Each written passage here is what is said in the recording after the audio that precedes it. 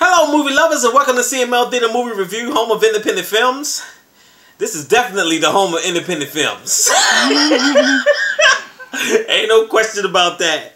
But listen, guys, if you into beautiful women, uh, mayhem, murder, rock music, sex, drugs, then you came to the right place here on CML Entertainment. Bam, bam, bam, bam. Club Massacre. This movie definitely lives up to its title. That's for damn sure. the movie was directed by Bob Clark, also written by Bob Clark and Bruce Kilroy. Oh my god. I want to start with this one. This movie is off the chain in so many ways. But the movie starts off with you seeing this woman, this girl Megan, and you know she's trying to she's trying to work and, and trying to get her shit together. You know, trying to just get through life like we all trying to get through life, which I can relate to that character because I had that shit done to me. You know, she she comes to work, she's trying to do a job. Somebody's giving her a hard time on the phone. Her boss walks in and, and tells her that she wants to talk to her, and she's like, "Well, is it bad or is it good?" Which was fucked up. She said, "Oh no, nothing wrong." Right. So they get to the office.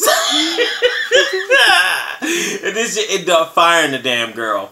So not to make matters worse, she already had a bad day because she just lost a job. But make I just can't help it. I can't help it. I've been laughing ever since. Okay, so she gets home and, and she's like, babe, babe. But it turns out that babe is upstairs. he upstairs just just just just putting the wax on the the shit. so she goes upstairs, she hear him moaning. Next thing you know, turns out that her boyfriend is screwing her fucking roommate, which was so disrespectful. Because yes. when he approached, he said, "Babe, you know, you act like this, you ain't like this wasn't happen, like you didn't have it coming. This was coming." Basically, just letting her know, like this shit was gonna, it was gonna happen. So it wasn't shit you could do about it. It was just how disrespectful he was. But then the damn roommate didn't make it no better. She's no, like, she did. She's like, listen, babe, is you gonna finish? Uh, is we gonna finish, or I'm gonna have to do it myself? So Megan just sitting in the room. She's all fucked up. She's like, okay, I lost my job. I lost my boyfriend, and my roommate's a dick. and then he slides her money under the door and say, honey, could you go to the hotel?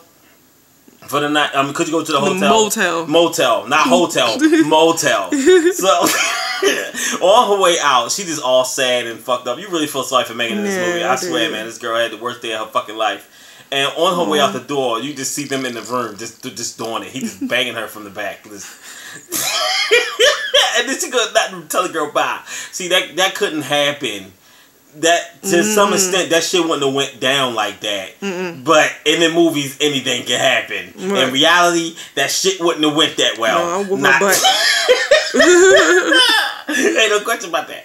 Okay, so later on, um, Megan gets up with her friend. Um, I think her fr- best friend name was Kim. Yeah. I'm not sure. I think it was Kim. I'm not sure because there's so many girls in this film, and she gets up with her best friend. Best friend is really pretty. She looks yes, like a doll. Yeah, like, like a Barbie, Barbie doll. Like for sure. But uh, she gets up with her best friend. Her best friend is really cool. She's one of those best friends that everybody wish they had. That ride or die. That's somebody that would not like stare you wrong and and, mm. and, and mm-hmm. always looking at your best interest. So she she her best friend's boyfriend ends up, he owns this club. He owns the strip club. So at first she she wanted to go there as a bartender and um, get on her feet, and then it Wait. ends up getting a little darker than that. It's a lot of places. It's it's like I don't spoil already the beginning of the film, so I don't want to go into deeper territory. But when I say the girl Jazz, she is all the fucking chain. Yes, she is. like, oh girl don't give a fuck, and her homegirls ain't no better. No, they, they not. no better. They just as evil as her ass is, and they and they will annihilate any competition that brings their ass up in that strip club. And then it's so many things going. It's like the movie. It's like it's like a it's like a wild shootout. It's like bullets going left and right. I'm just talking about like far as the.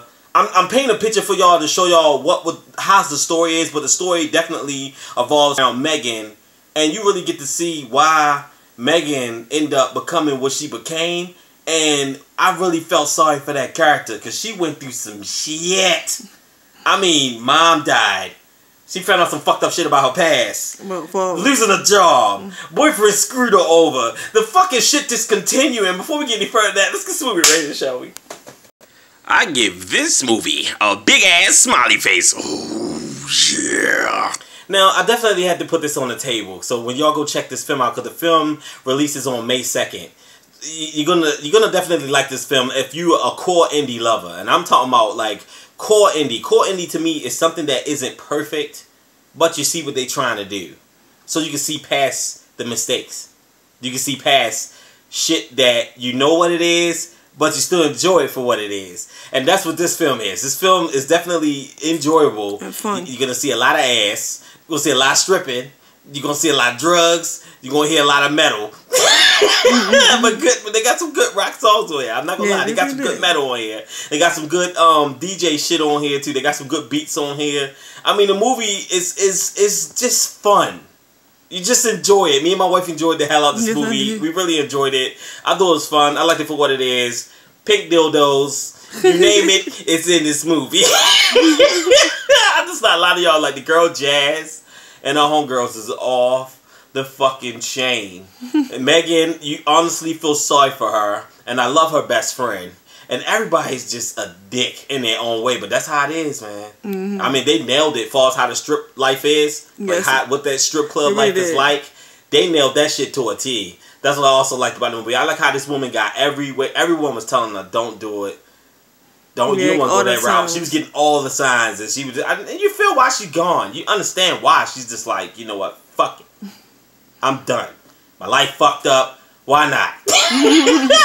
Check this movie out, Strip Club Massacre. It definitely lives up to its title. You're gonna love the ending. I enjoyed the shit out of it. We love this film. Don't forget to hit that like button. Don't forget to hit that subscribe button, and don't forget to leave a comment. Let me know what you think about Strip Club Massacre when it comes out May second. Because I told you what I thought about it. It's just fun. It's core indie. It's fun. It's not perfect, but it's still fun. And I'd like to give a huge shout out to Michael and Steven for uh, giving me this opportunity to view this film before it come out. I love you guys at Brain Damage and also Midnight Releasing. You guys are amazing. And just thank you for accepting CML and your family as well. We love you guys and we thank you. Also, I'd like to thank the director and the writers and also all the females. I give them huge props.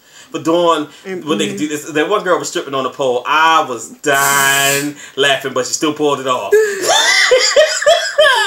and just overall, I just like to thank everyone. You know, this this is why we do this. You know, core wherever you core indie or not core indie, if if you know, if you could just look past and just get over your little miniature brain, you will understand that what they was trying to do with this film. And the film is really good. It's definitely worth checking out. And check it out on May 2nd.